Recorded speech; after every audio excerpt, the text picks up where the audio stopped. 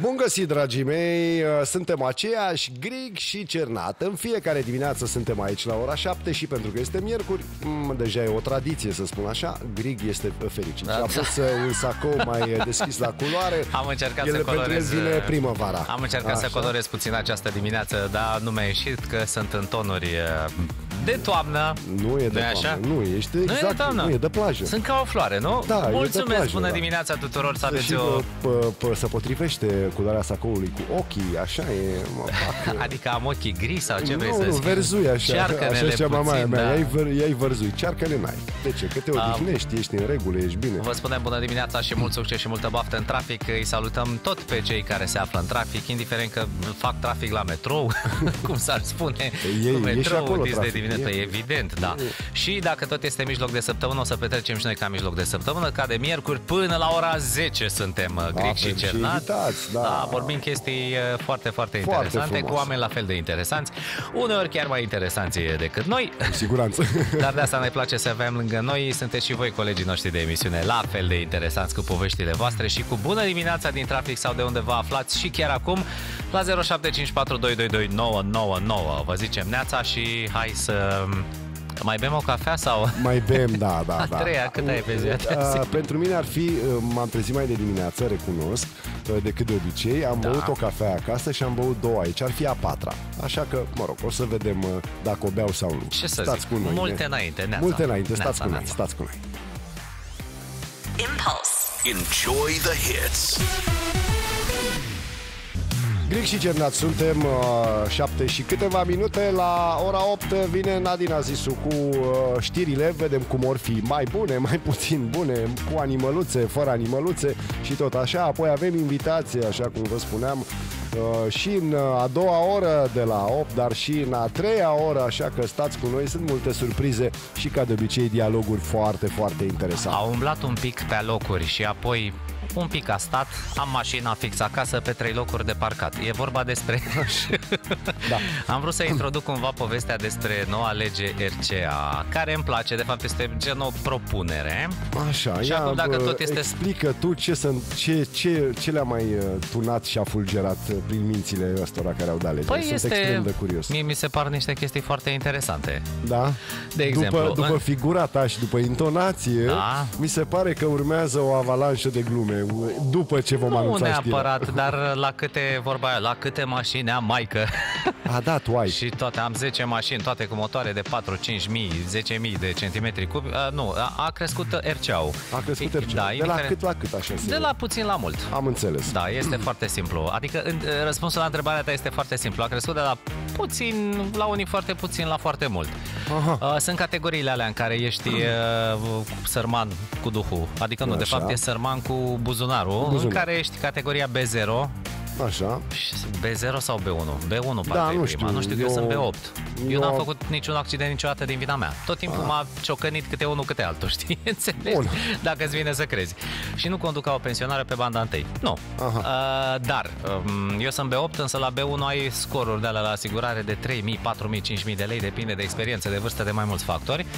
Și Așa. atunci, fiindcă uh, ci că există un cartel așa la asiguratorilor, s-au gândit uh, ai noștri guvernanți cum să facă totuși să ne mai domolească puțin uh, furia. Stilul de condus la Nu, asta. te- furia, furia Ah. pe partea de RCA Și zic, că zice așa, propunerea legislativă E propunere, parcă doar propunerea a rămas Și Mm. că șoferul ar putea suspenda asigurarea dacă rămâne fără permis Foarte tare Asta Foarte da. tare Am rămas 3 luni fără carne, păi de ce să plătesc asigurare? Nu am Mi se carnet. pare corect. Serios Da, Uh, sunt de Sau acord. perioada uh, în care are mașina avariată Și asta mi se pare. sau asigurarea ar putea verificată și evident suspendată și când mașina este parcată pur și simplu. Adică e pe un domeniu care nu e domeniu public. O țin acasă. Unde? Așa. În garaj. În sau garaj. pe locul de parcare. Păi și cum faci dovada asta?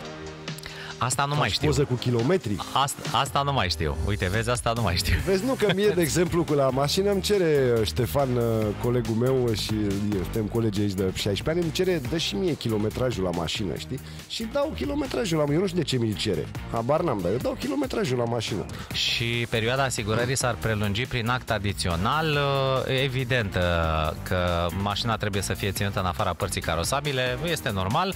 Uh, Și la 1999 am senzația că avem un ascultător și un coleg de emisiune, cer scuze. Colegul te pup, baftă, salut, bună colegul. dimineața. Ce Uh, zice? Care este chiar pe subiect? Bună Uh, dimineața. Sunt broker în asigurări Ia legat uite, de ce ți-a RCA. zis? Ei nu au plafonat nimic, au plafonat decât comisionul pe care îl ia agentul, Ah, iar prețurile ce au interesant. bubuit la propriu. Eu personal am avut trei mașini cărora le-am făcut RCA în ianuarie cu 1000 de lei per bucată, Așa. iar acum am una singură și RCA-ul e 1600 de lei per bucată.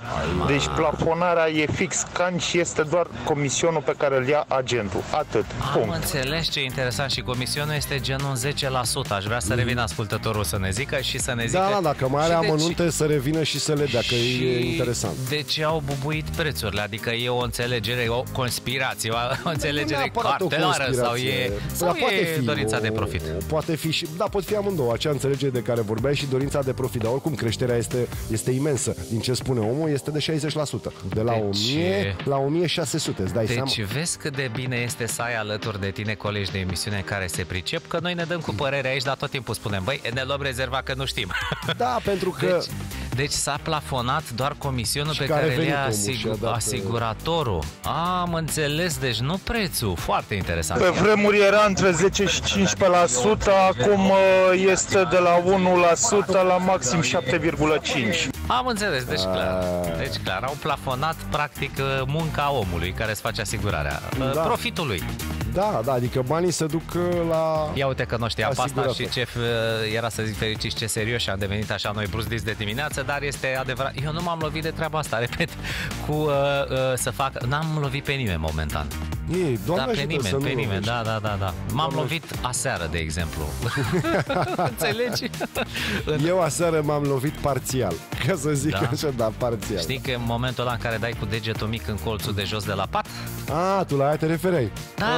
A, nu, n-ai mă a, gri. tu credeai că m-am lovit cu Așa, mașina. a, nu cu mașina, niciun caz, nu, niciun nu. caz. Mai e o... Dar e prea dimineață că și-o dăm în mintea copilor, nu folosim, uh, cum să spun, cuvinte de astea care duc cu gândurile în altă parte. Deci nu m-am lovit nici eu, nici Grig. Nimeni nu s-a lovit. Și pe nimeni, Și pe nimeni, în stați general. cu Da. Dimineața Petrovii Your hit music playlist. Impulse like Non-stop hits. Hit after hit After hit. Radio Good Vibes Station Bună dimineața, bună dimineața și la cât mai uh, Bună multe... dimineața și copiilor!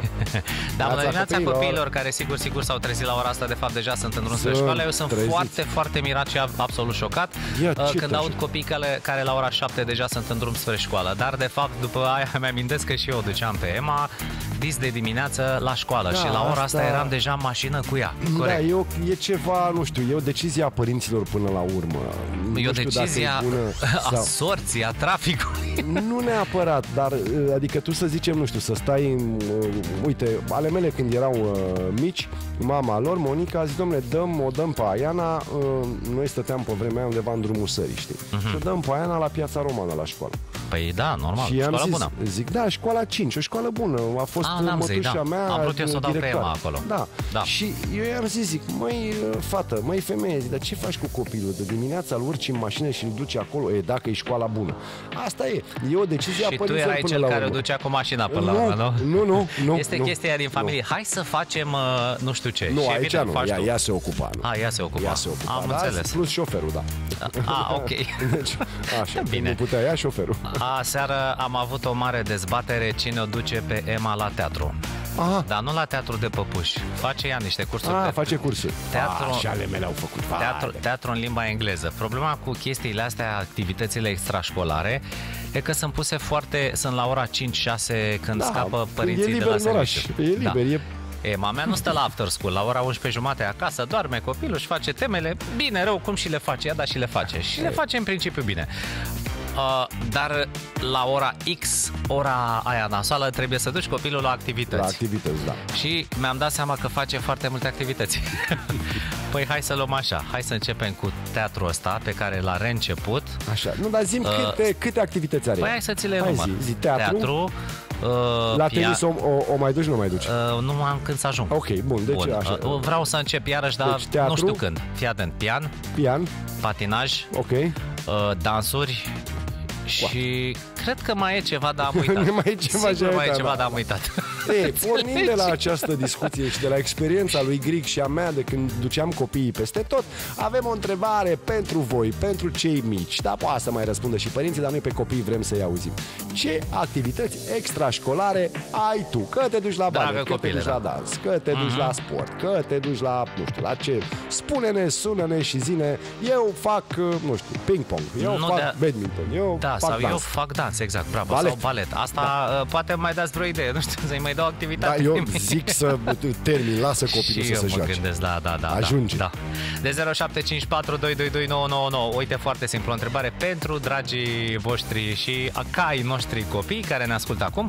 Ce activități mai faci tu? Bine, pe lângă școală, da? Da, Ce pe lângă activități școală. ai? La ce te-au dat părinții în afară de școală? Faci balet, faci sport și dacă faci sport, ce sport faci? Spune-ne ce activități faci. Uh, că, a, și la un moment dat voia să facă și șcălărie. Da, am zis, A nu mea mai- a făcut. Am zis, nu, trebuie să mă duc până în Otopeni. Exact așa mă Aoleu. duceam. A, pe, pe jandarmerie pe acolo. Vai de capul Da, meu. acum noi nu ne mai ducem nicăieri. Stăm aici, ne întoarcem și așteptăm mesajele de la voi, de la copii. Stați cu noi. Dimineața Bătălii. This is Influence Radio.